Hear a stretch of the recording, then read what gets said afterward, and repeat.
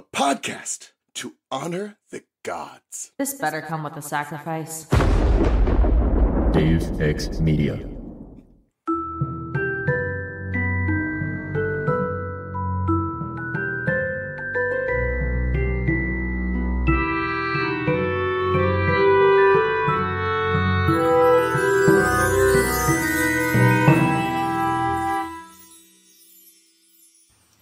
Welcome to the restricted section. The last breakup I will ever have to endure. Please stay with me forever, Sean. I love you so damn much. If you haven't done the reading, don't worry. We did it for you. Here's what we're talking about this week Harry Potter and the Half Blood Prince, the final chapter of the book, chapter 30, The White Tomb, featuring Dumbledore's funeral and the end of the book. I'm your host, Christina. My co-host today is here for some stupid noble reason. Haley, say hello to the listeners, Haley. Hello, listeners. Did you miss me in the, what, two, three whole episodes since I was last? They do. Yeah. You were voted favorite. Yay. You actually haven't been here in one, two, three. There was three weeks without a Haley. Three whole weeks, but you survived. I'm so proud. Yeah, and the next four episodes. Hold on, the next five, six, seven. Okay, well, I need to take a minute. Oh no, the next four episodes you're not in either, but Okay. that's only because two of them are pr- already recorded. Uh, detention crew bonus episodes that I'll be unlocking. Ooh. I'm looking forward to it, to be honest. Uh, oh yeah, I forgot to say our special guest today. I just started talking to him. The the guest does not exist until the host exists i- introduces them. Our special guest today, he just flew in in a giant blue carriage from somewhere across the sea. Sam from Content and Capable. Say hello to the listeners, Sam. Hello, listeners, and I would have to fly in a blue carriage from somewhere across the sea at some point That'd to be get. awesome. Yeah, I I like it. The flair for the dramatic is is really really prevalent in this chapter. Yeah, it is. So y'all know Sam. He's been on the show kind of a lot before. He's kind of a big deal. Kind of my second in command over at Deus Ex Media, host of Content and Capable podcast, um, which has been on hiatus, but is coming back uh, this next Monday, right, Sam? Yeah, I'm really excited. I've got some great ideas and guests uh, locked in, planned, bits and pieces. Drink. Um, I'm really excited to share with you what I've been cooking up over the summer. I've also uh, got a new recording space and bits and pieces because I have a new job. So um, my Yeah, hopefully congrats. yeah working in radio. Hopefully my audio stuff will get a little bit better as well. Ooh. I'm very excited flex. to see what happens there. Subtle, very Yeah. subtle. I'm really excited. It's it's gonna be so much fun this year. I have so many ideas, so I'm so keen to get in, yeah. right into it. I'm very excited. Awesome. Well, Sam, this is your first time coming on for the Half Blood Prince. Is that correct? Yeah. Um. Oh yeah, we had to reschedule from earlier. Yeah, we've had a little bit of a. I've had a bit of a rough end of 2023, realistically, Oh, truly. which we'll get into a little bit in this chapter. But Oh um, god, okay. Foreboding as fuck. I don't know. I, th- this book and the next book, I have read the absolute least. In fact, I will be reading along for the next um, series Ooh, for Deathly that's Hallows. I know what happens in it, but Deathly Hallows and the Half Blood Prince. I think after Order of the Phoenix, I was so angry, fin- like reading Order of the Phoenix, that I didn't want to read the last two books. Yeah. Um, and admittedly, I was in the throes of my mother banning me from reading books in high school. There was a whole bunch of other things going on. But yeah, I it, Order of the Phoenix is a hard one to like. You finish that book and you're like, oh, I've got to move to the next one. Yeah, like I definitely agree with you, Sam, that these uh these last two are my least read of the series, and like I, I guess for me because like I was kind of reading them like as they came out, like from I get like nine years old, like every time there was a long break between books, like you were just stuck with that break, you know? So I would reread what had already come out just over and over, Total- waiting and waiting and waiting and waiting. And then like these last two books just came out when I was old enough that like I don't really feel the need to do that any like I had discovered fan fiction, you know? Like there was another way for me. I think also because like having Sirius die mm. and like the ministry, like, and, and we start to realize like politics is a thing in the Harry Potter universe. I think it just Yeah. becomes this kind of depressing reflection of real life. Mm. Ooh, I mean, yeah, these two bu- last two books are really depressing, and that's I'm I mean, in Order of the Phoenix, honestly. So like, if I'm doing like a random reread, I'll randomly reread any of the four first books in isolation. Probably not the fourth, just because it's so long. But the story is good by itself. But like these ones, and like the same with the movies, like. This movie's pretty good. Maybe I'll watch it. But like, definitely Deathly Hallows. I'm not just like dropping in on Deathly Hallows. Right. The movies. It's like, oh, let's watch the like the last five percent of a plot. Yeah. so where does this book fall for you, or this movie, if that's what you remember more, Sam? Like this story, how does it rank in your Harry Potter rankings? it's not a bad book, as has been a common theme through this season of the podcast for you, Christina. I th- I forget how much this book is really like interesting to read. There are a lot of really great elements and lots of things that are introduced in this book that are really clever and interesting. But at the same time, you're sitting here like really deeply frustrated at, you know, n- things not being communicated. And, you know, I think it fits, sits very middle for me. Um, Okay, lots of cool stuff going on. Still frustrating. Yeah, and like it kind of brings you back to those first three books, like the wonder and the awe that is those like first few books, but doesn't quite match it because we've been sitting in this universe for now now six books at the end of this. It's true. That's the thing is like when we talk about Horcruxes, like uh, I forget who, like maybe like Radio Mike or someone asked me like, do I do I like the Horcruxes like narratively? And my answer was yeah, but it, I don't like that it took us five books to get to the true plot. Yeah. Like, It Like- very feels tacked on. yeah, it, like Yeah. there's and there's other elements from like earlier in the series that like loop back around to influence the Horcrux stuff, but like it's not enough of it that it feels fully intentional. It doesn't feel like we were building up to it this whole time, you know? Yeah, exactly. Well, cool. So, I mean, you guys ready to Yeah. get sad? I mean, okay, well, let's start with this. Let's just get it out there. Uh, how many funerals have y'all been to, and wh- what what has the vibe check been like on most of those? Haley, would you like to go first? I'm counting. Um, oh, It's not like that many. I so there was definitely at least one when I was like two that I do not remember. Um, okay. I I'm gonna go ahead and say that I I'm also including like memorials where like mm-hmm. there wasn't a burial. Right, feel me? right. I definitely my great grandmother, great grandfather, Uncle Tom. Yeah, count out all the dead people. in your life. Keep going.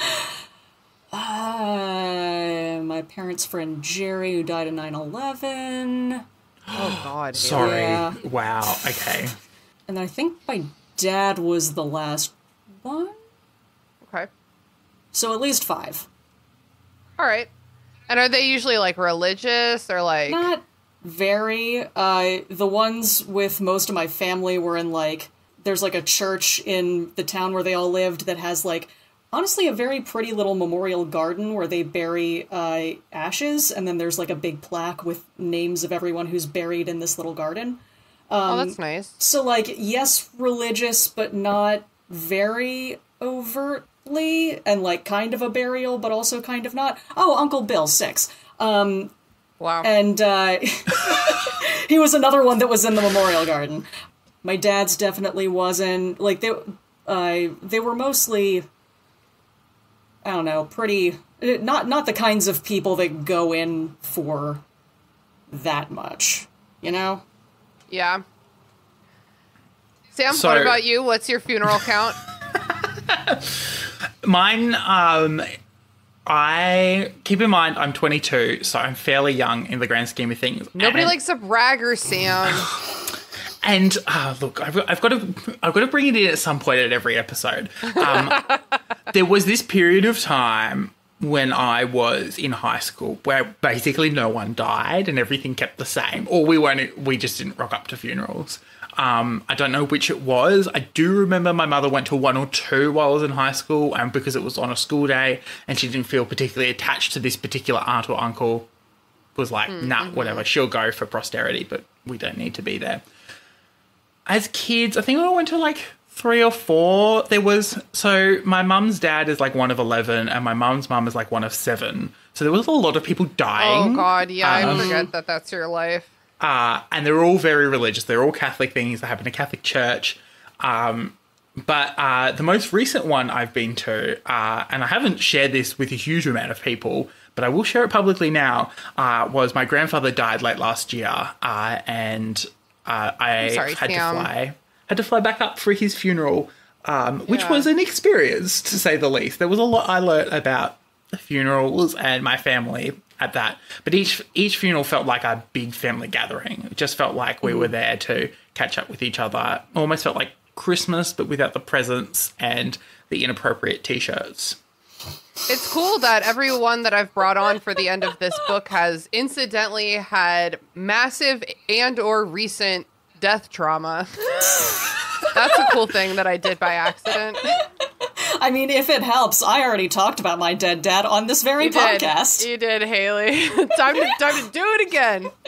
Um, I've been to probably like between like maybe like eight funerals. Um, several of which have been religious. Half my family is Jewish, the other half is Catholic. Different kinds of funerals. In one of them, it's all about heaven, baby. And in the other one, it is not. I feel like as well, it depends on like what's being said at the Catholic funeral because you could have mistaken the funeral I went to last year as like it, it could have been not religious if there wasn't a priest there. Oh, and then everyone praying when we, when I rocked up. oh, sure. To- yeah, oh, the yeah. praying kind of gives it away. Yeah, I mean, I, I felt like, for example, like my grandma passed away a couple years ago, and I, I felt like her Catholic funeral was like comforting to me because like that bitch loved God. Like, wow, this is She really exactly did. what you wanted, huh? Um, and then so I've the two kinds of funerals I've been to are like religious funerals and um, extremely sad artsy funerals for friends who died super young of heroin overdoses. Those are the two kinds I've been to. Uh, and so uh, none, no funerals, knock on wood, since my grandma passed away about two years ago. I completely forgot to say that my grand died when I was six months old. Wow. That, that was the big funeral. So mum and dad got married in like September. I was born in December, and then my grand died I in like see. July.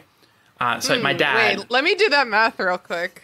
oh no no no! It's Catholic. deeply. I'm a deeply. Got married two months before the baby was born. a miracle. Yeah, no miracle, miracle. Well, well, no. Um, it's apparently it's a common thing. Um, who would have known surprised. when you tell people not to have sex before marriage, they would have Yeah, sex truly. before marriage? What? If, but what if they simply did not, though? Surely this would fix everything. Oh yeah, exactly, exactly. Um, but my dad was 22 or 21 when my when his mother died. Uh, my young dad's youngest brother was 15 at the time, so that one was mildly traumatic. But I wasn't there to remember it. I just feel guilty because I was the only grandchild that attended that funeral because I was the only wow. grandchild that was born. Yeah. Damn, imagine having a kid. you were like, oh, he was 22. And I was like, that's so young. Oh my God. And then I was like, Sam, that's how old you are. Yeah, Yes. no, I definitely had a weird time when I was like, when I turned 25 and I realized that I was the age that like my mom was when she had me. I, and I Yep, was my like, mom had oh, three by the time she was my age, dude. My mom had three. Yeah, really. And I don't even want to talk about how many Sam's fam Sam's mom had by the time she was my age. Yeah, no, it's it just recontextualizes things of j- just like, oh god, oh Yeah, god, sure. how, grocery shopping would be so much worse. It would be really hard. Yeah, for sure. My mother does not grocery shop with children anymore. It's banned in our household. You, if you want to take the for her. children to the shops, it's your funeral. Did you mean the act of getting it done, Haley, or the finances of buying? Yes, Yeah, the answer is yes. to me, in my funeral experience, Dumbledore's funeral was more like the arty sad died too young, um, like funerals. Have any of y'all been to a funeral like this one? Nope. The Nothing like my, this. my parents' friend um wasn't. It was like like like America, America fuck yeah version of this kind of oh, like okay. ju- like fun very in its own somber and everything, just like very flag Oh. draped. Um, what with the Oh. 9/11 and all. So So like, it's like Yeah. America fuck yeah, sad face. yeah, uh, It's like America fuck yeah, dot dot dot instead of exclamation. like point. it was it was the most formal of like that was the one like fully religious funeral that I think I've been to. Like there was a bit in a church, and then we were out at a cemetery, like outdoors, uh, kind of standing among the gravestones. So, like, kind of similar to this in terms of scale. Yeah, at my grandfather's funeral last year, it's funny because so the youngest two children on my mum's side read the eulogy. Um, and then my mother came up, and my mother felt like she was the only one who felt appropriate to say this because you theoretically, mean like once the- your mom's youngest siblings? Is that who you mean? yeah, so Okay, the okay. two, So yeah, adults. Yeah, adults, yeah, Okay, I Um, got you. I got you. not children really. I was like, huh, the youngest. That's Yeah. interesting. mum came up and she felt like she was the only one she could do this because basically i think the understanding is you can either just have the service the funeral service you read the eulogies the blessings are said and then you go and bury the body um, which makes it sound like a crime now that i think about it um, Bury the body. But um, you the other option is that you could have like a full-on mass afterwards which is what we did because that's the, what my grandfather would have wanted. So my mother came up at the very end of the eulogy and she would like said something you know about how he would have wanted everyone to you know come up and- and have holy communion if they're able to. Um, and it was that weird thing where my mama my mother turned around to me the night before and she's like realistically, I don't think that any of my other siblings would feel the need or feel like they would want to say something, but I feel the need to say something. And I was like, I cannot tell whether this is just the way you're processing grief or this is like a subtle dig at your siblings for not being as Catholic as you are. Oh my god. Probably a little both. Yeah, grief a little makes bit of us both. do Yeah. yeah. things sometimes. Yeah, like honestly, there's uh, a surprising amount of pettiness that comes out around a death that like often doesn't get expressed outwardly, but the passive aggression is like you could cut it with a knife. Dude, Oh, my yeah. mom and I love joking about my grandpa's funeral because everyone got so shit faced. That's like a part of my family history that's like so tense. Like everyone was so drunk at the like reception after or whatever. Like everyone got into like a big fight. um so that was fun. It did we get had a full expressed. debrief. yeah, we had a, we had the reception, and like there were certain like all the all of my mum's cousins like rocked up, or most of them, uh, and like family friends and people that I remember when I was living with my grandparents, right just before I started this content and capable of all things, and then once everything kind of died down in bits and pieces, Drink. we went back to my grandparents' place, and all the aunts and uncles were there. Sorry, all the blood relatives of my grandparents were there. So my mum and her siblings, uh, as well as a couple of grandkids. And I was driving my mother because my mother and uncle decided they wanted to drink copious amounts of alcohol, which is totally fine. Sure. Um, and we got to debrief on all the cousins who had rocked up to the funeral and like, why did this person arrive? And do you remember the last time you saw that person? It was great. I loved it. so much family lore. Dude, oh yeah, in the past like 10 years since me and my cousins have all been grown, we do only get like we only get together for funerals. All of our like nice family photos are from funerals. Mm-hmm. Like it's it's sad. Luckily there's a wedding this year. My dad's funeral was very like estranged uh, corners of the fa- like formally estranged, uh, being stuck in the same room together and like pointedly ignoring each other. Love that. Yeah, it was a great I time. love that energy. It was a great time in the event space at the Lewis, at the Lewis Ginter Botanical Gardens. Oh my god. wow. Oh, the carpet was terrible. Is that is that where Brooke had her baby shower? It, wa- uh, it wasn't the same room, but yes. Same building. I love that. You could be banished Oh. into the gardens and have to walk laps as well. Honestly, I did like end up immediately, like the moment I could leave the room and just escape the palpable bitterness radiating off of my aunts at my grandfather, Right. who I was Oh meeting for the first time, I I did very much flee into the garden. Good for you, girl. It's a good garden. There's plenty It's to flee garden. into in there. Yeah. Oh yeah, you've been there. Wait, you I were there during Brooke's baby shower? I was there during Brooks' but you hadn't shower. gotten an invite, so we made you take a walk. No, it was me, right? Charlie, and Taylor, Yes. I think. Yeah. Yes, that is in fact what happened. That's so funny. I, I'm glad to say that post that, Brooke and I are much better friends, I think. So, Oh yeah. yeah. We just hadn't met each other in person at that point. That would have been an awkward way to meet my meet Brooke in person.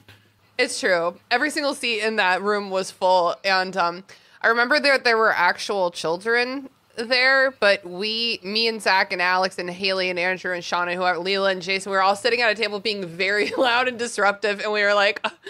The children's table is us guys. Like we're there's children here, but that's not the children's table. Yeah, the actual children were pretty well behaved compared to us. All right, well, let's get into it, guys. Yep. Let's talk about the chapter now that we've like aired our. so, like, what's your history with funerals? the airing of literal grievances. oh yeah, that's very funny. I can we t- t- uh, talk briefly about how Harry Potter has been at school for three years, and for three of those years, including this one, has not had to take final exams. Can we talk about No, that? That I know. shit. Well, it and then also I noted that it said that the exams had been postponed, and I'm like, until when? Indefinitely, like they're canceled. that's They're- called that's, called canceling them. Why not just say canceled? Yeah, They're but leaving an hour This after is the corporate funeral. speak for cancel. That's so stupid. This is how they Yeah, tell you're right, you it is that things are corporate cancelled speak. without saying they are. They've canceled exams too many times in a row. They well, and I do don't want to say they have because imagine what imagine what the parents would say if they cancelled the exam. Yeah, when no, in reality, they- everyone knows that no one's retaking them. The board of governors knows goddamn well, but like they they're not gonna get the green light for this if they call it a cancellation. My high school Sure, did this all the time. We would indefinitely postpone all sorts of shit. Huh? That's so funny. They would say that they're postponing it. They wouldn't say indefinitely, but like we all knew it was cancelled. Oh yeah, like when um my cousin's uh was engaged and it was like her engagement was falling apart and her wedding was supposed to be in May of 2020 and they were like, "Oh, oh no, COVID, um wedding postponed indefinitely." I was so disappointed when that happened because you'd been keeping me up to date with the drama up to that point, and like I really wanted to see what happened. I, I was so It curious. was going to be bad. Like ultimately it was going to be, so bad. There, and the I I'm with you, but there was a child involved, so that's why I'm glad that it was Oh. like I mean, it was Oh, still pretty bad, but child. it's, it was still pretty bad, but at least they didn't get married. Thank God for Uh, that plague, huh? Yeah, thank God. So many blessings in disguise. um, lessons canceled, exams canceled. Lots of parents are coming to get students. Seamus Finnigan gets into a screaming row with his mom trying to stay for the funeral, which is like a really cool juxtaposition to the last time the camera focused on him for 10 seconds, which was in Order of the Phoenix when he was like, My mom thinks that you're a liar and a bitch, Harry. so it's cool to see that everything's been flipped for We him. love to see the growth. Isn't it canonical in the films at least that he's got like a really thick Irish accent? Yeah. yes. I, I mean, love Seamus the- Finnigan. Yeah, you could you just like imagine hearing a very loud Irish argument. That's I know. That's what. I want to hear. I cannot believe this. I think it's a good thing, love. Well, just keep out of it, you. And that's who you were winking at in mass? Winking? Mm-hmm. At your age? Christ, I feel sick. It was only a friendly wink. There is no such thing as a friendly wink. And like Seamus has a notoriously hot temper, which is probably all of this is probably like slightly racist. I don't really know about like British Isle racism, especially also his name being Seamus Finnigan, and then it's like yeah, it's he has like a really Irish hot McIrish. temper. Like, It Yeah. sounds like J.K. Rowling got ninety percent of the way of putting red hair on him, and then realized that she could only let people have red hair if they were the Weasleys. right. True, true. Oh my god, that's so funny. Red hair. And a hand me down. any robe. other detail. so people start coming from all over into Hogsmeade for the funeral. Um, showing up, Madame Maxime comes in ye old blue carriage. Um, ministry people are staying in the castle. Like, there's people everywhere. Imagine having the government set up shot in your, in your school. Yeah, don't you hate it when the president uh, is just like sleeping in the gym and you have to avoid him all day? It's the worst. That's funny because we grew up in the DC area, Haley, and like, did you ever like get caught up in like a random like road? Motorcades. Blockage, Dude, motorcade let the- me fucking tell you about this, alright?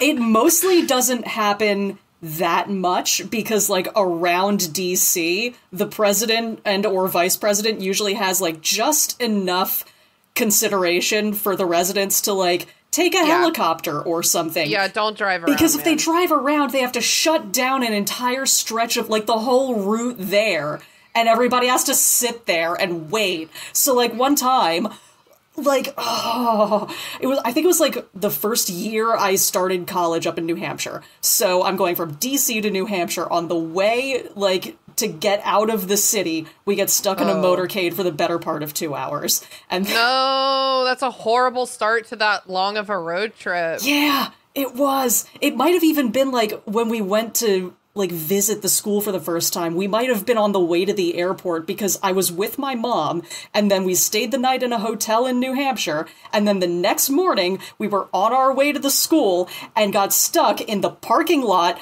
of the hotel because Joe Biden was Oh, wait, in New Hampshire? In New Hampshire Oh shit. and the motorcade was going by. Oh wow. So is that two motorcade in like 24 hours? Yes.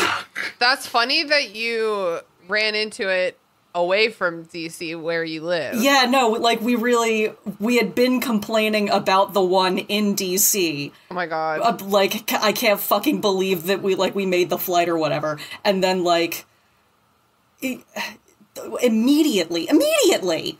Like what the hell are you doing up here? To me, it seems incredibly common that when they're, uh, I don't know, because motorcades aren't a thing that happen here unless the president of the United States is visiting. Didn't one of Um, your didn't one of your prime ministers go for a swim and then vanish and they never found him and no one cared? oh yeah. We never changed our security measures. they learned what are you going to do about we sharks? learned nothing. We named a pool after him. That's about all we learned.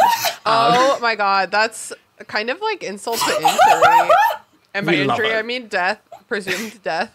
Um, but uh, you can run into the prime minister getting coffee if you're because he's because he's not like and this is the hard thing to describe because he's the prime minister he's not elected separately as prime minister he is elected as a member of congress or parliament and then Yeah. he- the party in power g- gets to decide who is the prime minister uh, usually it's the leader of their party uh, so we've never had to do that. But like, I would assume in DC that like there would be like the airports would be ready, and as soon as they would hear wind of a motorcade, they'd just delay all flights if they can't get everyone on because You're you're uh, making a lot of assumptions. Yeah. the About staff flights. at Reagan National in Dulles, they don't care. Yeah. I think I was over by Dulles on 66 when I got caught like on an exit ramp because no one could get on 66. And my mom and I were like, what the fuck? And we turned on the radio and they were like, hey, if you're stuck on 66, we can't tell you what's going on there and we don't know, but you can probably guess, can't you? And I was like, ah, the president. That fucker! that fucker. I think at the time this was Obama, maybe? He's still a fucker if he's causing a motorcade. I don't give a shit. No, for sure, for sure. And, you know, so many other notes about that man. that we're not going to get into here because we get to see a different leader maybe later. So, because there's so many visitors in the castle, Harry, Ginny, Ron, and Hermione just like hang outside a lot.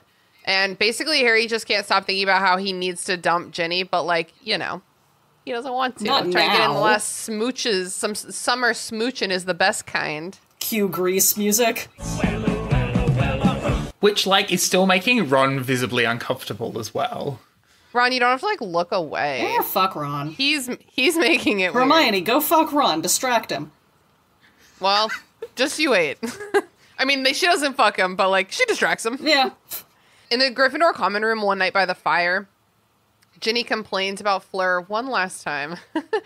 she's like, I guess Bill's gonna marry her, and it's like, okay, Ginny, I just you of all people. it's Harry going. She's ugly. I'm like Harry. Harry's like, uh, she's not that bad or whatever. What is? And then Ye- Ginny glares at him, and he's like, oh, aunt, but ugly or like whatever. She just raises her eyebrows, which like not even doesn't necessarily mean anything. Yeah, because if Sean's like, ooh, this girl's hot, and then I raise my eyebrows, that means I agree. But like he's not he's means. not like saying that she's hot. He's saying she's not that bad. And She's like not that bad of a human being. which like is true. He he has some level of rapport with Fleur, but also I don't Respect, think that shared trauma. Yeah, I also don't think that like Ginny is uh, like Ginny is necessarily being like jealous here. No, I I, think, think she she just finds Fleur like liter just genuinely annoying. Yeah, well, that's how sisters are, honey. Mm. Get used to it. Uh, so I've heard. It's a damn shame. It's a di- they are deeply. I feel sorry because this conversation comes right after we describe how Bill, how bad Bill's face is scarred up, and it's not even there's not even a crack made. At, like you know, knowing my siblings, there would be a crack made that now Bill's ugly, they can't get married or something. Someone would make a joke to that effect. No one's been making jokes at Bill's expense. Everyone's everyone likes Bill. Why does everyone like the oldest child? Well, They're not supposed to.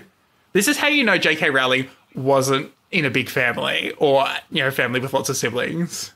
I think that Bill, we don't get to see a ton of it, but what's not to say? What's to say he doesn't have eldest daughter syndrome, Sam? Just like us.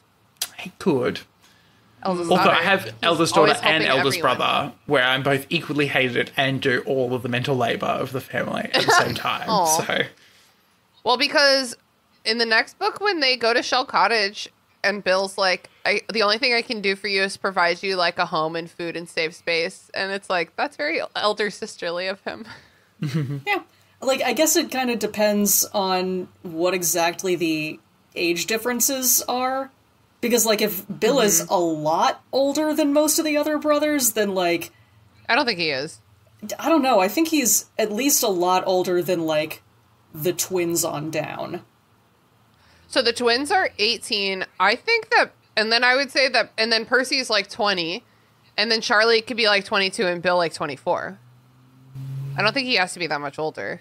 But like if there is more of an age gap, like he Uh-huh. would be he wouldn't have like the Cain instinct as they call it of like when you're children together like you just it's like an animalistic tear each other down. relationship of just like like fucking with each other. You're more willing to fight your like your uh, brother if he's closer in age to you because like you've been fighting your whole lives. I think that they are close in age. I think they're all really close in age. I think that a lot of them are young enough that like Bill was away at school and then away at a job and so never had like the I have to like he never didn't have a sense of responsibility toward them. Yeah, I so like he had to be nice. toward, like the young, yeah. the younger ones. Yeah, but like him and. Charlie probably have a much more like fucking like Charlie's probably the one making those jokes. And I think we've talked about this before about how Percy was like the oldest, youngest. Like at one point, he was like the sweet youngest child. And I think what fucked him up is getting shunted from youngest into super middle. you're, you're very right. You're very right. My younger brother Thomas has been shunted from youngest to not youngest um, after like three or four years. Hard. There's about a three or four year gap between him and the child underneath him. And he's great with the children, but oh gosh, is he up himself sometimes? He says some he says some of the most out of pocket things ever. Yeah, I get the feeling that like Percy, uh, that Bill and Charlie were like gentle with Percy and like real and chummy. And that means like sometimes, uh, what'd you say? The cane thing? What is that? Yeah, like I I don't Cain think that they have like the Cain instinct for like the younger siblings. Yeah, that but I like think- Ron and the twins do. Yeah, I feel oh, Like God, Ron and the twins will Ginny. absolutely fight each other. Or Ginny will fight any one of them any time of day. They had their phase one twin, their phase one kids and their phase two kids. Yes. So like they're they're not gonna make those jokes at like a phase one brother. Yeah, I suppose you're right. I'm actually of the opinion that Bill is significantly older than we think he is. Like I think Really? I in my head and I could be wrong. Like there could this could be written out somewhere, and I could be so entirely wrong. But the way he's characterized gives me like 26, 27 vibes. Although that, that would make it creepy with Fleur. Uh, I don't know. Fleur is uh like 21 right now. So let's call Bill 24. Uh, that that makes sense. Um yeah, Bill's in the hospital wing um recovering this whole time. He's like not full werewolf, but he likes his meat raw. Honestly, that, how is he different from most men in America? he could come here, he'd fit right in. Fleur makes the delightful comment about how like the British cook their meat too much. And I was like, oh, okay, so J.K. Rowling is mildly self-aware of the egregious nature of some British food. Yeah. You can't Slash, not be. I, I think she's actually still just being shitty toward the French here because she's like, aren't they such bitches about our shitty food? You're right. They're just not strong enough to eat whatever the f- kippers for breakfast. Ew. So they're in the common room. They're chilling by the fire. Hermione reports from the newspaper that they're still looking for Snape, but no luck. Ginny goes to bed.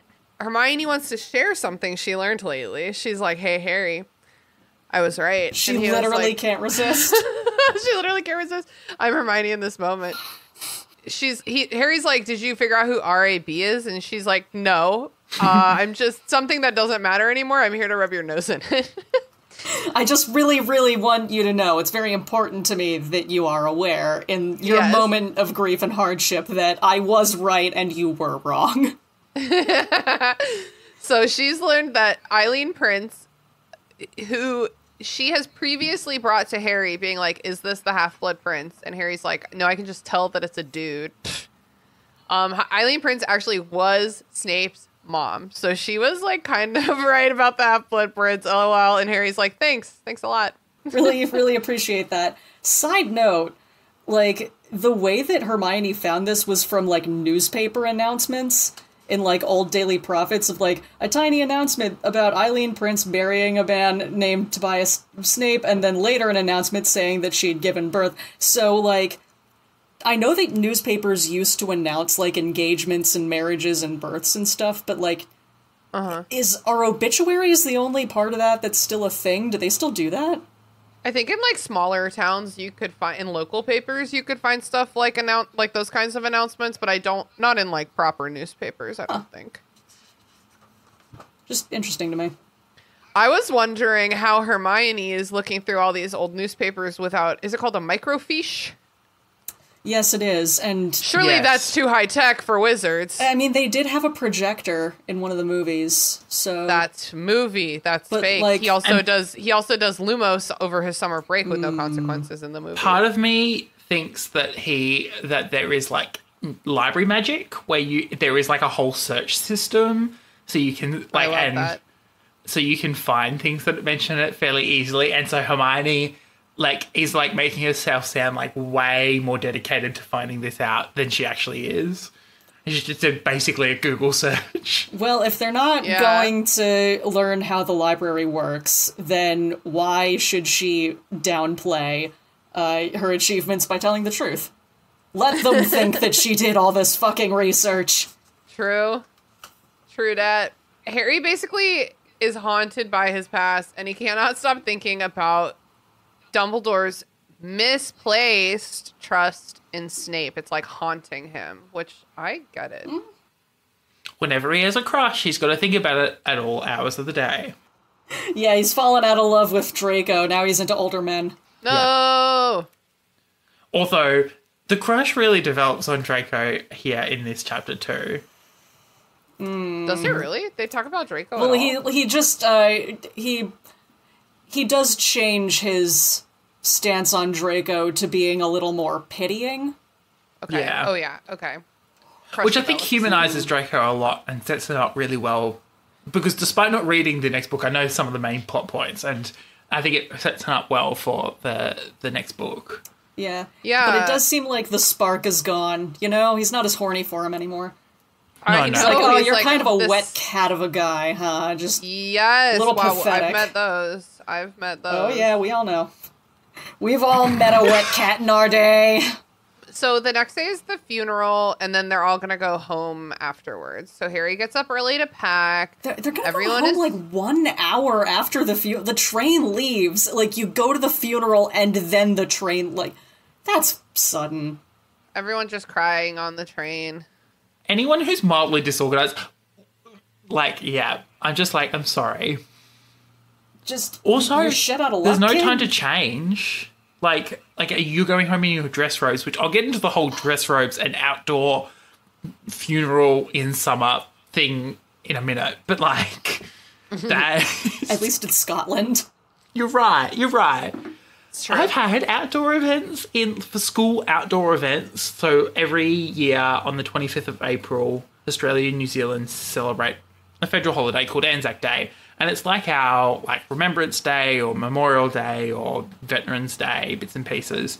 Drink. And it's on the 25th of April to commemorate when we first landed at Gallipoli, the first time we as a nation were involved in a conflict as a nation in World War One and bits and pieces. Drink. And because the event involves raising flags, lowering flags, and laying wreaths, and there's a garden around where they've so they've propagated what's called lone pine, which is this pine tree that was left standing despite all of the fighting that went on. They've propagated it, so like you, there are lone pines all across Australia, um, and there's one sit- it was sitting in our like school garden. So they did it at the lone pine, and so you would sit out in the hot, like it's the last hot day of the year around that, that week.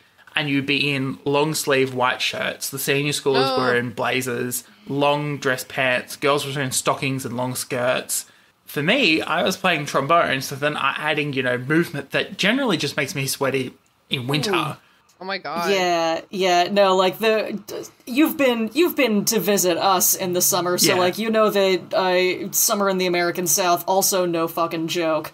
Um, Yeah. But like at the very least, uh, Scotland, if you look at like the lines of um, latitude on a map, like and go straight across the Atlantic to uh, the states, Scotland is like on a level with Maine, so like a little more comfortable. yeah. A, a little bit. when I graduated from college, it was May in the South, and we like all met in the student center, and then we like walked across campus to like the whatever convocation center, and I was with my friend Catherine. May she rest in peace. Another uh, really cool drug death. Everyone, check on your friends. She was like, I'm so drunk. If I fall down, you have to catch me. And I was like, I'll catch you, babe. This was normal. It was college. And then, but by the time we got there and we all like filed into the convocation center, we weren't allowed to sit until everyone had sat. And I was like, I'm going to faint right now. I was so dizzy. And I was like, Catherine, I'm going to faint. And I literally had my whole like body weight on here. I was like, luckily, like 50 pounds lighter so she could really hold me up. But I was like, you got to hold me. And she was like, wait, I, th- you're not supposed to pass out. but luckily I made it and I didn't fall down in front of all those people. I'm so proud. And then I ate a granola bar.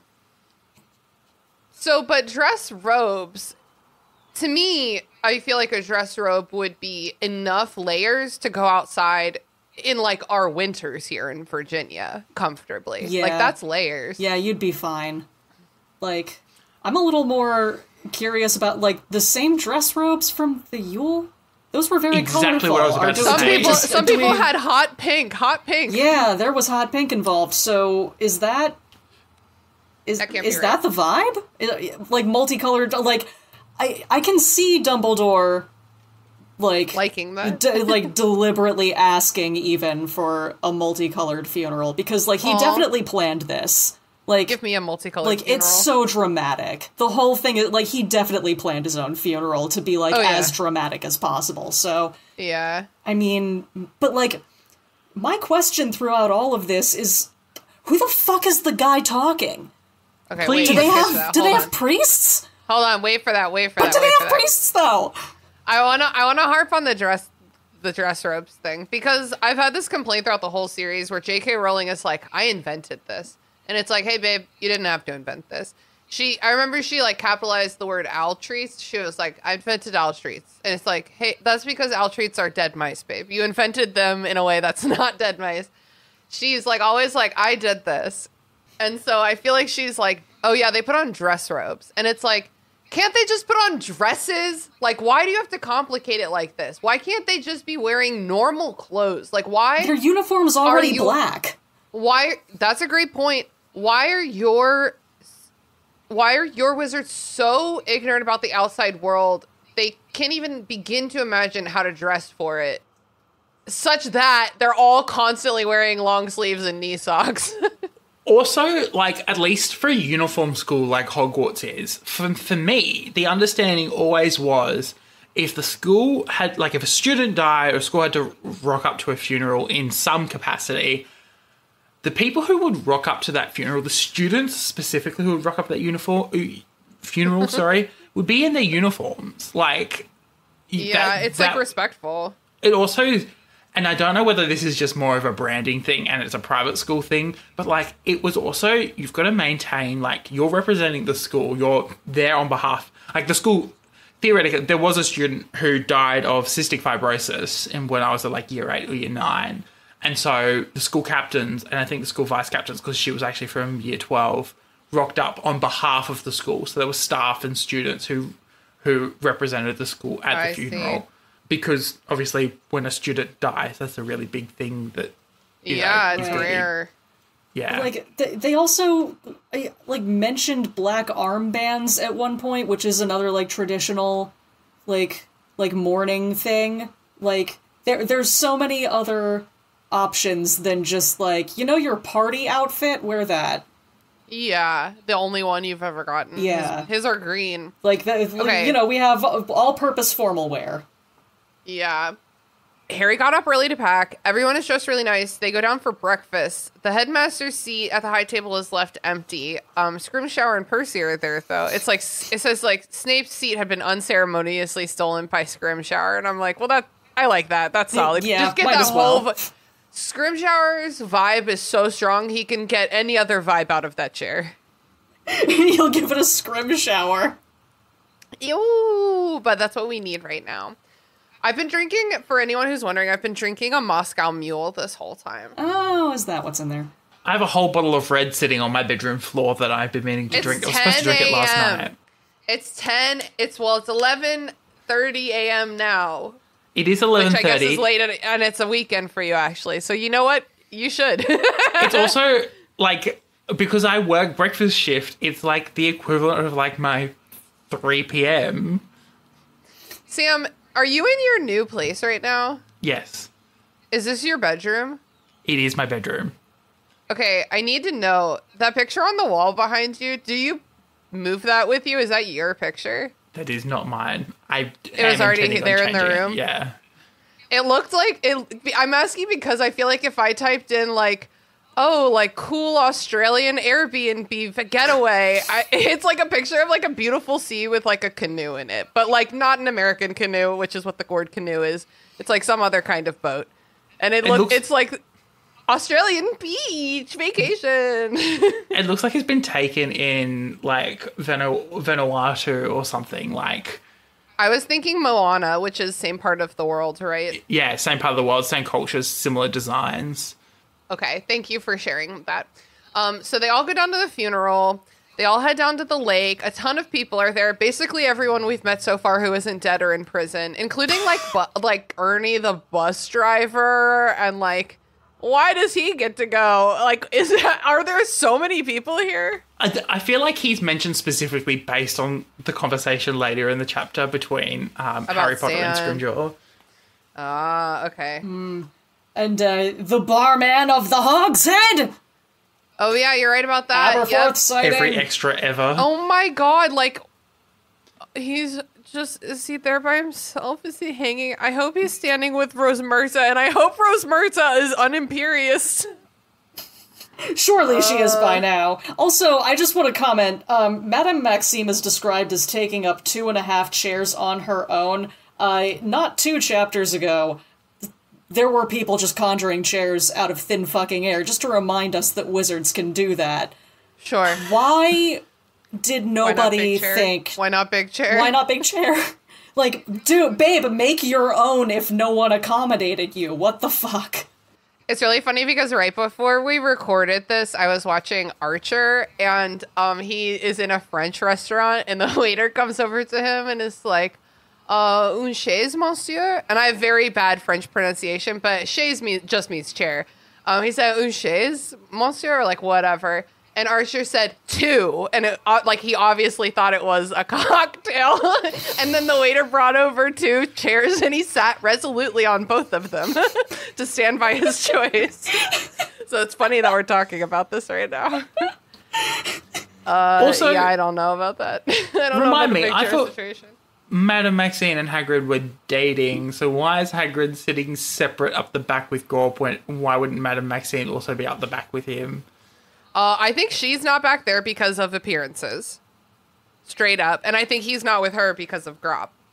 I think they just talked about it, and they were like, "We don't. I guess we don't have to sit together." Because Harry mentions that like when she rocks up in her blue carriage, um, that she basically like cu- comes out and just like hugs Hagrid straight away.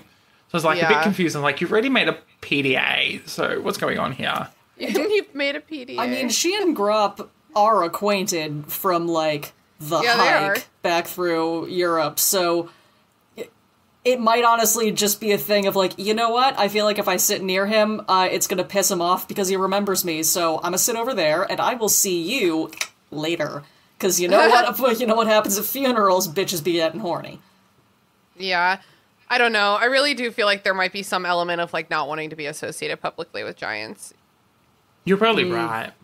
but we don't know. We don't know what she's doing at this point. Even though she's one of the side characters I would most want to learn more about for sure. Oh yeah, she's awesome.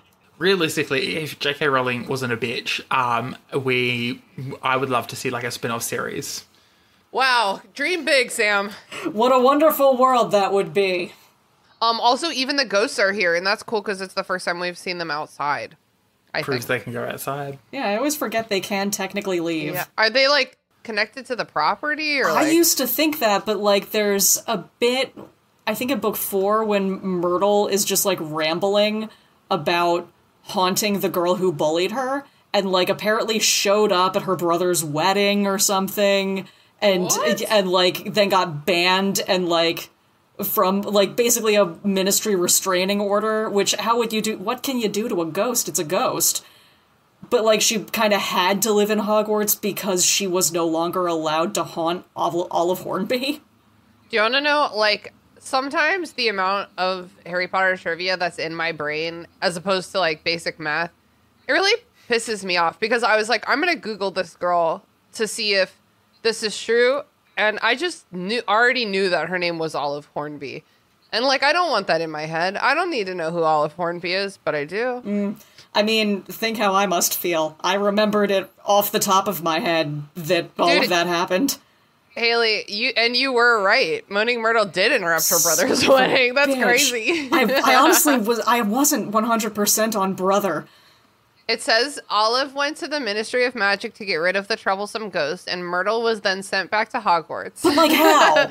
I know. An How are you going to tell her what to do?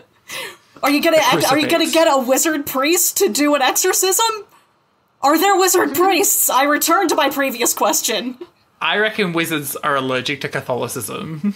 Uh, yeah, I'm sure of that. This is my question. um, wait, we'll get to it when the priest comes up. But is he a priest? The Harry's just kind of sitting there looking at everyone and like all the other students walking up and taking their seats, and he's reflecting about how Luna and Neville were the only people who responded to the DA summons um that night when Dumbledore died and like I burst into tears when this part came up because it's just like so sweet and beautiful and they're just so lonely and they have like so much to give and it's just really sad. Yeah, I I did underline those lines. Okay, but why the fuck weren't they all sitting together? Like seriously, like I underlined those lines and just wrote "ow" next to them. Yeah, ow. You should have paid more attention to them this year. You know how lonely they are. Luna and Neville are really, really good characters who like did not get enough at all. At mm-hmm. all. I mean mm-hmm. Neville's Neville's journey is good, but like it's mostly like implied from a distance at this point. Like hmm. Oh, I would have loved I would have loved if it was Neville instead of Harry, honestly. Please. That but that's basically Percy Jackson. Sorry, my brain has gone full ADHD moment. Um, Do it. I have a question about seating at this fucking funeral. Okay, tell me. First of all, why no big chairs? Why no big chairs? We've got that. We've got that under control, theoretically. But what I don't understand is beside immediate family, really close friends, dignitaries, representatives, who, like, what order are the school students sitting in? Where are they sitting in the, the grand scheme of things? Because we know that Harry, Ginny, Hermione, and Ron are all sitting together. But then Luna and Ginny, uh, Luna and Neville are sitting separately, and of all of a group of people, I would assume to be all together. I would assume it would be the six of them because all six of them were, yeah, were close. But uh-huh. then, like the other thing is that like ha- Hermione and Ron are prefects, aren't they? Sure. Prefect, sure. so wouldn't they be as representatives of the school be sitting up towards the front anyway as like leaders of the school? Okay. I think that them needing to be like acting as prefects is a great point here. They haven't done any prefect shit in at least 300 pages. Hmm. I honestly forgot. I do think that Luna and Neville are not sitting with Harry, Ron, and Hermione because Harry, Ron, and Hermione do not value Luna and Neville as friends. I mean, that did, I think that's what it is. that's the vibe here. yeah. Which more fool them. Like, Harry's Harry literally is like, wow, they're so pathetic. Even though he's doing it in like a nice way, he literally is like, wow, they're so lonely that they answered my call. it's fucked. too bad I spent this entire year obsessed with my mortal enemy. My beautiful, beautiful mortal enemy. Who I now? I'm kind of over. So it wasn't even worth it. um. Also, we see Fudge, Umbridge, and Rita Skeeter are all there. What the, what the fuck are y'all doing here? I mean, I think Fudge should be there. He never did anything like wrong, wrong. You know. I mean, aside from all of the propaganda and and uh, I know. I just feel bad for the idiot. Like he was in a pickle. It's easy. It's easy to feel sorry for like a fake politician, I guess. Yeah. Last I remember, like Umbridge was in a forest being tortured. Oh no, No, Dumbledore he went and out. got her. yeah, Ah. Dumbledore walked in by himself and brought her But out. she still is like that night. deeply, deeply terrified of centaurs. Yeah, understandably, mm. honestly. And I understand why Rita Skeeter is there. I'm not quite sure why she's there at the school after what happened. She, what happened last time when Hermione imprisoned her. No, she should not be there. And then she goes up. on to write this horrible book about him last year. Her- I mean, next year. Her year is up. Yeah, Hermione, t- Hermione yeah. told her one year, so now she can do You're what she wants. There's also singing mermaids. There's centaurs in the woods. Like everyone's here, guys. Yeah. It's actually really beautiful. It is. It is kind of. I mean, you know, you can look at it in a way where you're ready to make fun of it, or you can, you know, for like having like It seems very disorganized. it's disorganized, like every character we've ever met, and like mm. they're sitting like the mean girls and being like, "You can't sit with us," and like there's a lot of things to laugh at. But like if you if you're trying to put yourself in the mindset of taking this seriously as like a narrative moment like I, it is really beautiful and like this whole chapter i was feeling like very somber like very bittersweet wrapping this book up mm. hagrid enters carrying dumbledore's body and he puts it on like a pedestal or like i guess the white tomb I guess. It's like a table. At this point, it It's a is basically a table. Yeah. He walks back to everyone, ba- back past everyone to Grawp. And then some old guy comes up to do the you Googleizing. Thought you were going to tell me what a bad Googleizer I am. A what? A Googleizer? One who speaks at funerals? Or did you think I'd be too stupid to know what a googly was? A, lit- a little old man in in plain black robes. That's all we get. Plain black That's robes. a priest. That's Mr. Collins from Pride and Prejudice. What excellent boiled potatoes. Oh no! I hope not. but like, just I have because like Britain has such a weird history with Christianity and like the different denominations. Like it's like the Anglican Church is like kind of Protestant, but like not post Luther Protestant. So mm-hmm. like it's it's weird. It's like the middle child of the major the major sects and like It also gets in so much more trouble for its opinions on shit than the Catholic or the Protestant churches do because it sits between the two. Yeah. So Yeah. like is Like, where do wizards fall? That's all I want to know. I don't know. I wonder if this guy is a professional ministry you Googleizer. You Googleizer? I mean, that was like a whole industry in like Rome, at least. Like you would have professional Ooh. mourners. Like, Really? yeah, I'd be you would. re- I'd be really good at that. You, yeah, like honestly, it's it, it seems like kind of a sweet gig. Like you just get paid to like like tear your shirt open and show your tits and like claw at your hair and cry and follow a coffin through the streets. okay. Yeah. I know when I worked in newspapers, we did obituaries quite frequently. So realistically, between doing an obituary and a eulogy, especially for someone who has impacted so many people, I can see that you could like just go, "Can we hire one of the ministry's people to do this, please?" I'm thinking this is not the same thing as Dumbledore, but I'm thinking about when my grandma died. She was like the matriarch of everything, and we were like, uh, who, who on earth could talk? And that's why Catholicism, like Catholic funerals, are good, is because it's like the priest talks, but you still have to do the, I don't know, side side quests, ha, ha sermons. I don't know all the language. I'm really bad Catholic. Quests.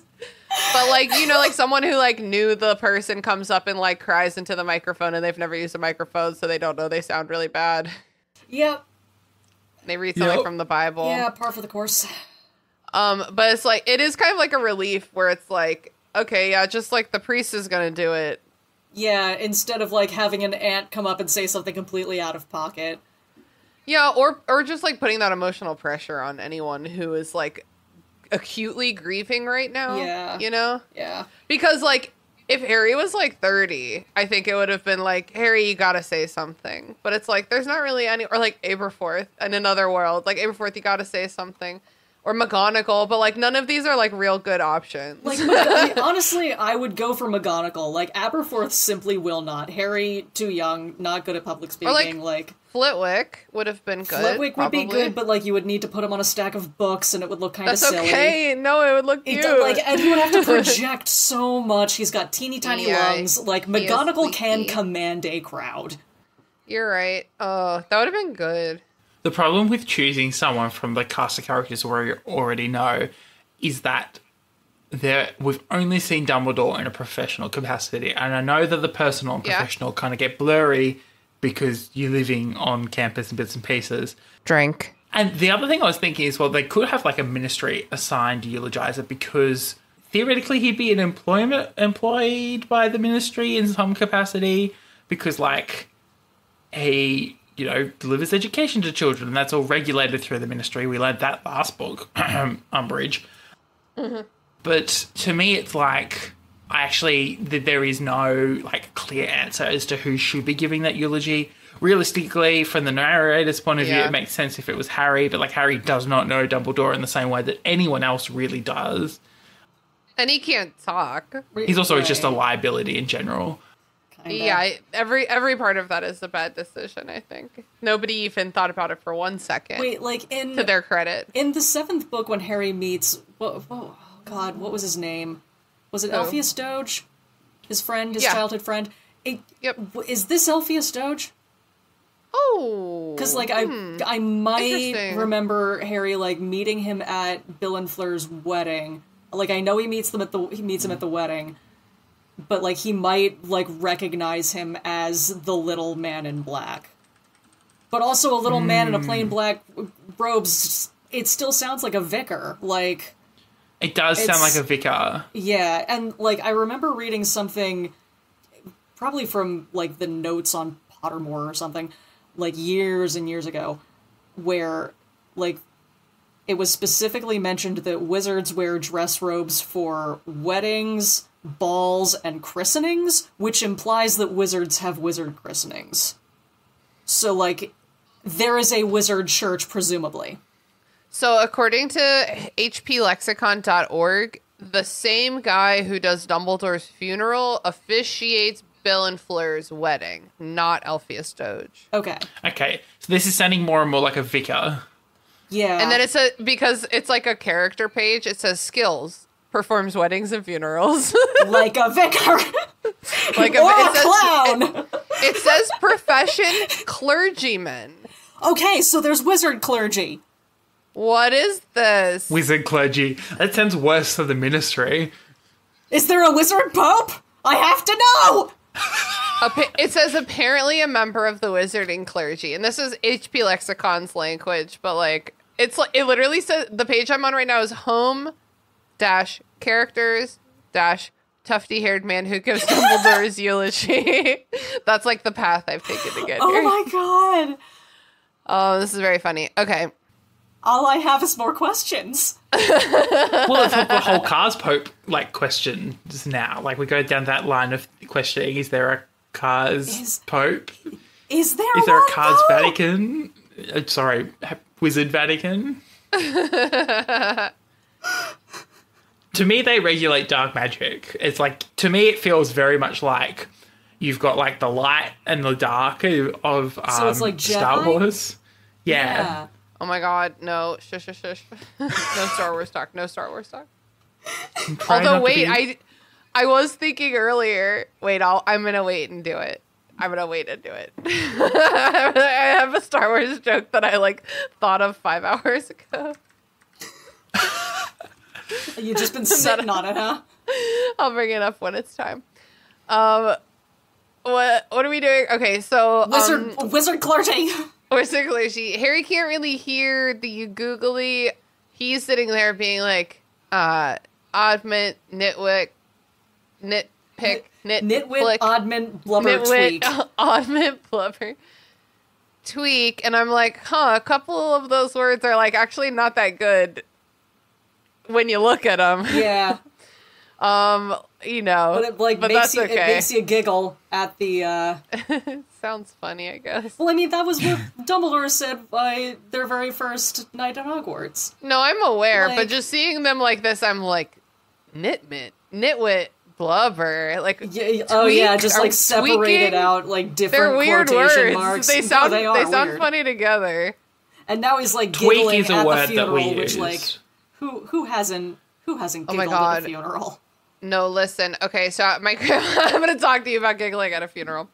My at my grandma's funeral. This is like such a sad story, I think, but like my stomach hurt so bad all day. I was like so nauseous, like acutely nauseous. Like this was not like I forgot to eat breakfast nausea. Like it was like really something unusual for me. I'm not like a nauseous getting girl. I was so nauseous all day. Travel up, whole funeral, travel back down. I was 100% sure I was pregnant. I was like, this is Dee Dee's final revenge. She always wanted me to have a baby. uh, like, I'm definitely pregnant. Like, there's no other explanation for this. And also, all day long, Sean, Sean and I stopped to like get a pregnancy test for like later. Like all day long, Sean and I were like, "Oh fuck, man, am I pregnant?" And we were we were in the church, kind of like giggling about that. we were like, because it was like, wow, wouldn't that be way more horrible than also what is just happening right now? As Sean and I do not wish for kids. Um, it turns out that I super wasn't pregnant, and I guess it was just grief. like, what the fuck? I love that. Puke Not take it. her final revenge. We so my a- about a week out from the funeral, a list of jobs was posted to, and this is the thing. My mother's side of the family has about like seven different group chats. I'm only a part of one of them. Um, That's plenty. Some are with my grandmother, some are without my grandmother, some are with just the immediate family, some are with the extended family.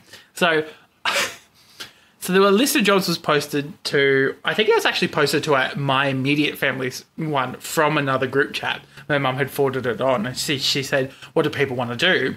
And I'm like sitting here going, "Well, I don't know what you want me to do, but I'm happy to do like this and that." My mother rings me a couple of hours later and goes, "Actually, can I get you to altar serve for your grandfather's funeral?" She's like, "I do No. not." You're the only. We're the only branch of the family that really has children trained in altar serving.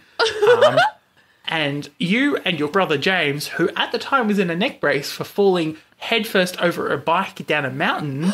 oh my god. Yeah, he broke his spine in three places. Um, yeah, Sam, um, is he? How is he doing? he's fine. He's going skiing in Japan. Shut up. Okay, well now I don't have. Come on, man. I would never do anything risky ever again. No, um, he's Australian. stupid, in my opinion. Yeah. Um, True. but uh, so yeah, I had to alter serve. So I got to sit up the front, and because altar serving, we were sitting like towards the side of this church.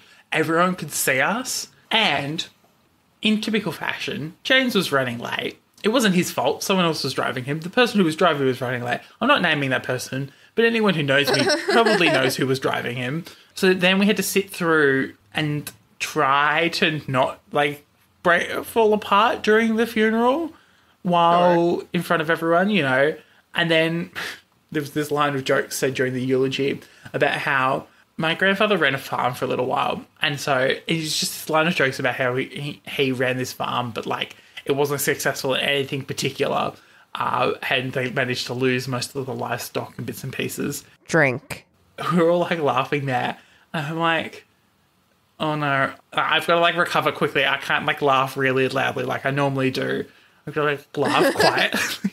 like shut up, Sam, shut up. You've got to look somber in front of God. It's Yeah. true. No, you literally do. I come from a family of altar boys as well, and we do call them altar boys as girls are not invited. And I went we went to a lot of like mass, like eat long masses, like maybe Easter mass in like southern hot tiny southern churches. And my cousin Christopher was very prone to fainting. The worst one is the Good Friday Mass, which is at 3 p.m. on a Friday. And the worst part about it is That's that if already you've a take- bad vibe. if you've taken the concept of fasting really seriously, you haven't eaten much. And so then if you're mildly dehydrated, you are going to faint in front of 300 people. Yeah.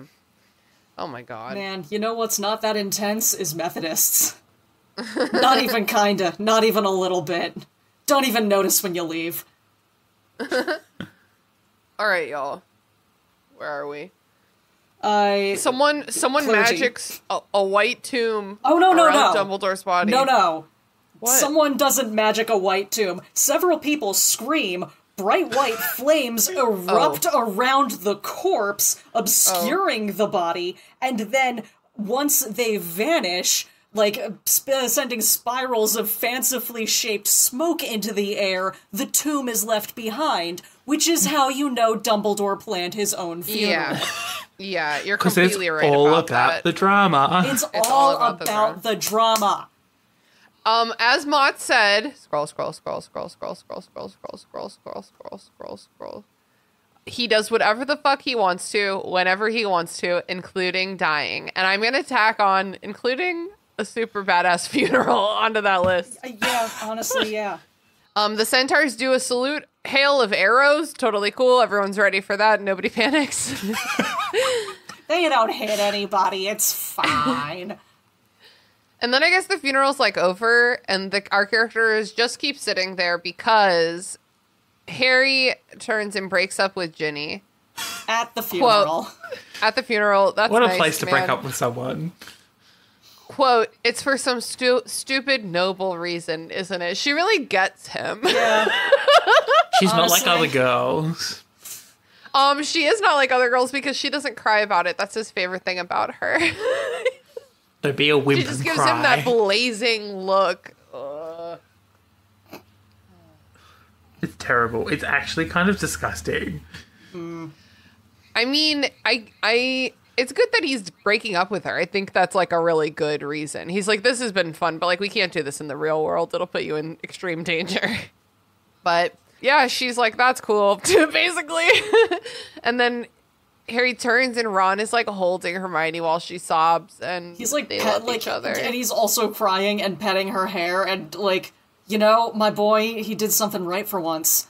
yeah, he really He- he- he's It's really crazy. this. It's really crazy that they don't make out within like 3 days of this happening. If Harry is going to break up, he probably like why didn't he like talk about this with like Ron or Hermione or something? Someone with street smarts to turn around and go, "That's a bad idea," or do it differently, or choose a fucking different time. You know who we should have asked is Hermione because like Ginny's sitting there and telling him like, yeah, the whole reason that I'm like even able to talk to you and be normal around you is because Hermione told me to date anybody else and get my own life so that Yeah, uh, chill out. Yeah, yeah, literally just chill out so that I could be myself around you.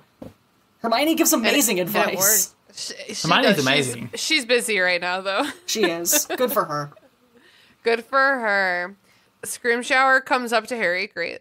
Really excited for this. Harry's like, I don't want to have a word with you. and he kind of doesn't get the opportunity to ask for anything because Harry shuts him down so hard. Character growth. We love to see it finally. Also, fuck the government. I don't owe you my time. I don't owe you my energy. I don't owe you my words. I don't owe you my patience. Yeah, we love to see it. So then R- Harry, Ron, and Hermione are like walking together, I guess. I don't know. Harry tells them he's not coming back to school next year, even if it does open. He's got to go back to the Dursleys one last time. He, he wants to go to Godric Hollow to see his parents' graves, and then he wants to. Tra- I mean, no, he doesn't want to, but he desperately needs to track down the rest of the Horcruxes. Ron and Hermione are like, "We're going with you," and Harry's like, "He what? He thought that they would understand right away that he had to do this on his own." But they're like, no, we're coming with you, but we need to go to Bill and Fleur's wedding first. And it's really like, wow, so much coming in the next book. And I this the end of this chapter had me like, da da. Wait, hold on, hold on. Oh my god, I started singing and I like lost it. Da da da da da da da. Oh yeah, there you go.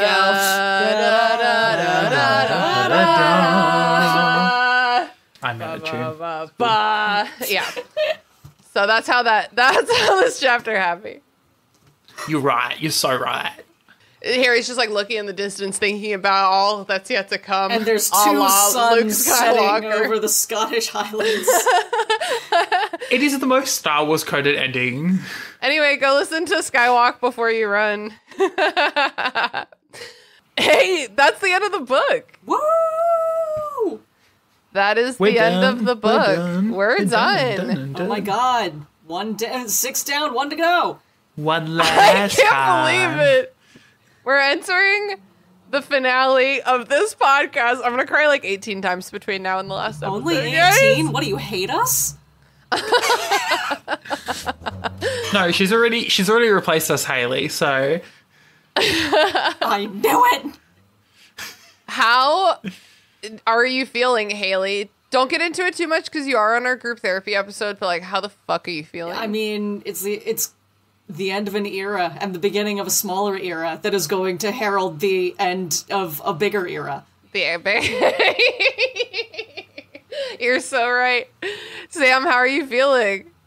um I am really looking forward to the journey to come. I was busy plugging this podcast to my new co-workers because it's one of the first things I do when I start at a new workplace apparently. Oh no! oh god, Sam, don't you want them to like you? Look Sorry. Um, You just raised anyway, the stakes so much. Dude, Anyway. even like when I started working with Josh, I was I would not tell him about my. I was like, oh yeah, it's I. It's just like a Harry Potter podcast. Don't worry about it. Like, please, please don't listen. Well, because I had the recording, people asking me what I'm doing this weekend, and I was like, I actually don't have a huge amount planned. I do have a podcast recording I'm doing, but like, and they're like, oh, what for? And I'm like, oh, now I've got to explain everything, don't I? Um, you don't.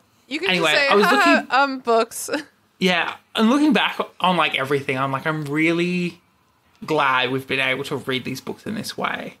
It's not like I know we've said this before, and it's getting a little bit old and tired, but like, Never. it is really important to like critically analyze literature and when it's literature that is so universally praised it's so good to sit with like a fine-tooth comb and go through exactly what we like or what we didn't like the egregious crimes of the author that shall not be named but also Sure. you know how how worldviews and biases have been you know incorporated into this and it's a fascinating this book i think is so fascinating because i think it actually represents the maturity of the writing coming into play at this point in time. Um, so far, the writing has been quite childish. You know, obvi- some egregious descriptions, some horrific comparisons. Um, Ejaculate in the last chapter Yeah, another ejaculate. as a dialogue tag. Why, don't- ejaculate? why, why do we keep doing ejaculate as a dialogue tag? We don't need to. I don't think we're going to ever train her out of this. But in general, on a bit more of a broad aspect, I think the writing has gotten more interesting, more layered, and more thought through because the seven book series, the, as a as a series, this has not been very well thought through.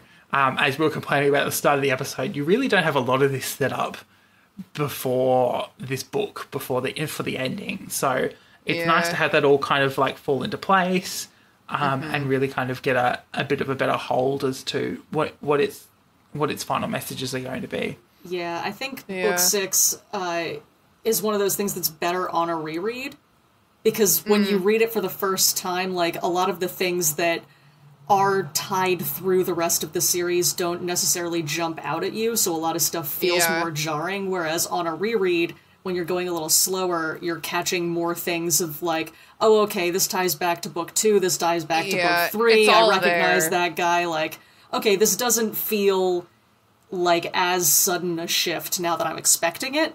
Um, which isn't a praise of the book, but it is. It, it's just an effect that it has. Yeah, yeah. I think also, I know that you guys were complaining earlier this season about the lack of editorial direction. I do think that there was a little bit more continuity that was put into this book that I enjoyed seeing. Some more things were kind of tidied up. I really hate when a book Continuity series has to. yeah. yeah. Who knew that was a job? Um, I really hate book series that tie everything up at the very last book. I know there are there are plenty of talented authors who write open-ended series and keep things tied up as they go. I'm glad that we are not tying things up in the last book, but like are slowly tying them over a two, three book period of time. Yeah. Mm. It's rushed enough that you can tell that a lot of stuff was figured out at the last minute, but it's not so rushed that it feels like a like a a Deus Ex Machina, if you will. Yeah. Yeah. I- I'd agree with that. Cool. Well, any last words or are we ready to move to plugs? I think we're ready to move to plugs. I have to pee real bad. Do you want to go now? No, I can, I can make it. All right. Sam, where can the people find you on the internet? Woo, you can find me at sam.the.journalist on Instagram and on TikTok. Um, you can also uh, find me on ABC Southeast SA. So if you go to, um, if you search ABC Australia Southeast SA, which stands for South Australia, um, you can hear me on the breakfast program, which happens to run in the States during like your, your mid morning to early afternoon. Not mid morning, sorry. It's the 6 a.m. our time, like afternoonish. I listened the other day. It's a lot of fun. I like read the night news at 9:30 my time. Um, there's lots of cool stories and interviews we do about local communities. If you wanted a taste of like what parts of Australia that may not like be explicitly marketed overseas look and sound like, this is a really great opportunity. Um, but uh, and there'll be a couple of stories I have a hand in uh, helping produce as well. That'll be on our news website there as well. Um, otherwise, you That's can find the awesome. po- my own podcast, which is coming back next week, Content and Capable, um, on Content the letter N Capable on Instagram, and um, check us out there. We'll have all the launch details that will be coming out in a post. Uh, that would have already come out in a post by the time this podcast comes out, um, and um, I'm very excited to share new episodes and bits and pieces. Drink. I've also all around the network, as Christina said, um, I are helping out left, right, and center. So you know, if you want to hear me on Burn Before Reading or um, um, yes. What's this called? Oh, the Oldest Gods. Um, you know, I've I've recently been on those in the last few months as well. Hell yeah. And what's something you've been reading, playing, listening to, watching lately you think our listeners would enjoy? I have to plug the book Yellowface by R.F. Kuang Oh, I own that. Kuang. Yeah. Um, it is amazing. Such a fascinating insight to the publishing industry. Uh, such a fascinating, logical, like exploration of ethically ambiguous issues. I'm try- I'm trying really hard not to spoil it. It reads really quick. Don't be intimidated by the 300 plus pages. it reads so incredibly quick. I basically read it in three sittings. Nice. I've always struggled since high school to read physical, sit down and read physical books. So interesting, so many twists and turns. I really suggest reading it. Um, I did not expect the ending whatsoever. Uh, it was really fun to read. Awesome. Thank you so much. I'm excited to read that one. Haley, what about you? What are you plugging this week? Uh, this week I am going to plug the Tasting History cookbook, which I got for Christmas. I, I've plugged Tasting History, the YouTube channel before, Tasting History with Max Miller, um, it- which is really delightful because it's recipes from all different time periods all over the world. This guy does really, really in depth research, works very hard to get pronunciations right, um, and according to the people in the comments that actually speak those languages, apparently pretty much nails it all the time. Um, Amazing. And he's just like really cute and wholesome. So like the actual cookbook has the recipes and then like the relevant stories behind the recipes and like modern substitutions and stuff. Like it's Cool. really really cool and, and like it's not just interesting as like a book of recipes. It's interesting as a book of history. That's really cool. I'd like to take a look at that. Yeah, by all means. Hell yeah. Well, I've been your host, Christina. You know where to find me. I've been struggling with the plugs lately. You know why? Because I've replaced reading and TV with crochet. You can Um, plug I don't- crochet. I already did. well, then you're fucked. I literally already did. I've got a question about your crocheting. Is there a particular yarn or or guide that you've been using? No. No, just freeballing it. If you just Google like anything you want to make and then just be like pat like free pattern, then you just hmm. get that pattern and it tells you like what kind of weight yarn you need. Most of the yarn I use has been like a four. I don't know if you're supposed to say like a, another word with that, like four pound or like four thread or whatever, but it's a four. Basically, just buy like a buy like a, a, a four yarn and then just like Google what size hook you need for that, and then look up a YouTube video about how to do a single crochet stitch, and then just like make some coasters or pot holders until you kind of have it figured out, and then start looking up patterns. That's how you learn to crochet. I need something to do with my hands when I record podcasts, and I've seen how it effective What? it is Look for what I've you, doing so this whole I'm excited. Oh wow, I've been that's a lot. this whole time. yeah. Yeah. Um. That is one symmetrical ass rec- rectangle. Thank you. It's going to be a hat. Thank you for encouraging me to expand upon my previous plug for crochet, Sam, with a more detailed plug for crochet, featuring explicit instructions. Always happy to help. Hell yeah. And thank you for coming on the pod and thank you for helping us wrap up the Half Blood Prince. I can't believe it's over. Okay, are we allowed to be angry at Harry Potter again? Uh, yeah, sure. I think I'll be pretty frustrated through the next book. Or maybe I'll just be really emotional at the close, you know. Who knows? We'll have to see. Looking forward to it. So next week, everyone, we're going to be covering the film with Jason. I'm excited about that one. Um, we're going to do our Half Blood Prince group therapy episode, of course.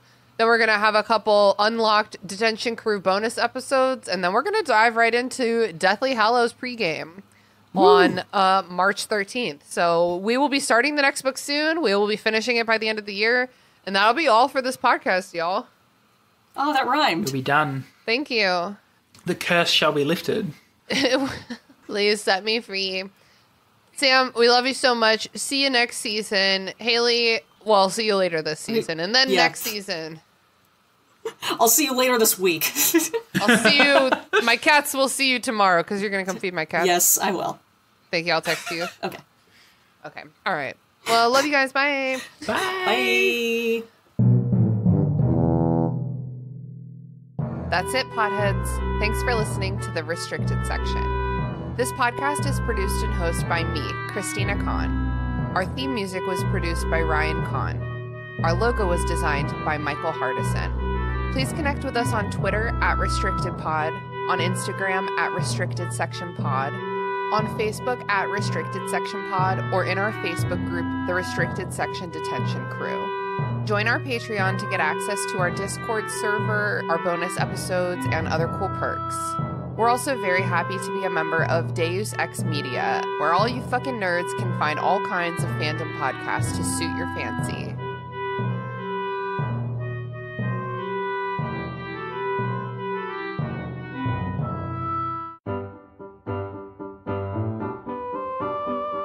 Have you ever gotten so distracted in Stardew Valley that you forgot to sleep?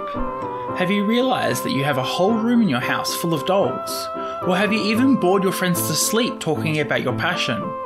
Well, then, Content Capable is the podcast for you. Join me, Sam, as I chat to people passionate about what they do, asking questions about how they fell in love with their passion, what they do, and how it interacts with their day to day lives. Catch the podcast every Monday as I find out what makes someone tick, all while gleaning interesting and insightful life lessons along the way.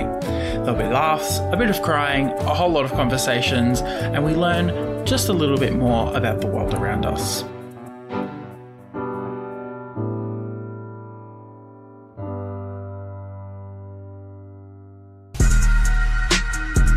Bits and pieces. Bits and pieces. Bits and pieces. Bits and pieces.